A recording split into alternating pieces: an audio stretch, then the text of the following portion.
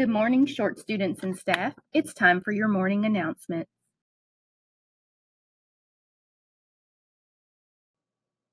For lunch today, we are having fish fillet sandwich or pepperoni or cheese pizza, tater tots, baked beans, marinara, applesauce, or fruit juice. Can't wait for lunch. Sounds delicious.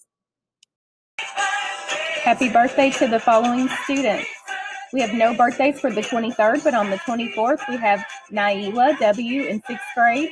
On the 25th, we have Leilani W. in first grade, Tiana B. in second grade, and Eddie Martinez in second grade. After the announcements, come down to get your pencil and sticker. Happy